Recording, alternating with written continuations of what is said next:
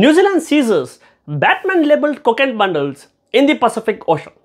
The New Zealand Navy has seized a cargo of cocaine floating in the Pacific Ocean in what the country says it is the largest drug seizure of all time. The deposits weighed a total of 3.2 tons and were valued at New Zealand dollar 500 million were found floating hundreds of kilometers northwest of New Zealand.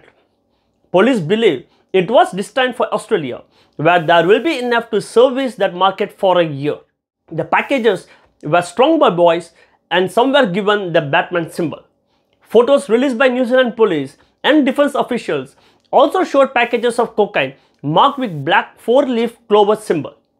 It is brand logo for a drug maker believed to be based in South America, say New Zealand officials.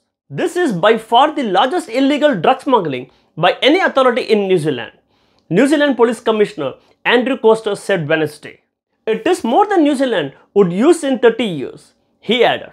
The New Zealand's Navy deployed a ship last week to recover the massive shipment which contained 81 bales of cocaine.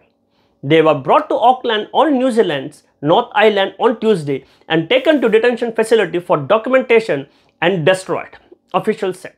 We believe we have dealt a significant blow to the operation of the international criminal syndicate, said Coster. Authorities have not released details of the operation or how they found the drug, but they say that partners in the Five Eyes intelligence group, which includes Australia, Britain, Canada and the US, have provided assistance. Thanks.